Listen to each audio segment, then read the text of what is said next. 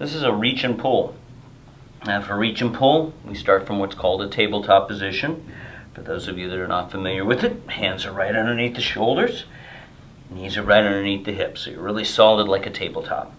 Okay, on this move, inhale, take the opposite leg and the opposite hand, kick the heel back, heel going back, toe coming down, punch forward into a fist or an extended hand. That's your reach. Another breath. Pull elbow up past to the spine, knee up into your armpit. Settle relax. Opposite side.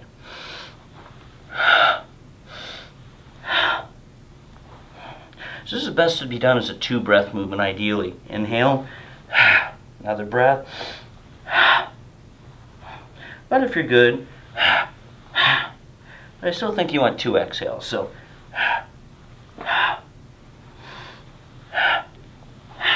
now notice the elbows coming right up by the side of the body and stopping right at the back. Don't pull up so hard that you injure your neck. Elbow should be just past the spine. Knee goes right into that armpit so you're getting a really good crunch there. So reach and pull.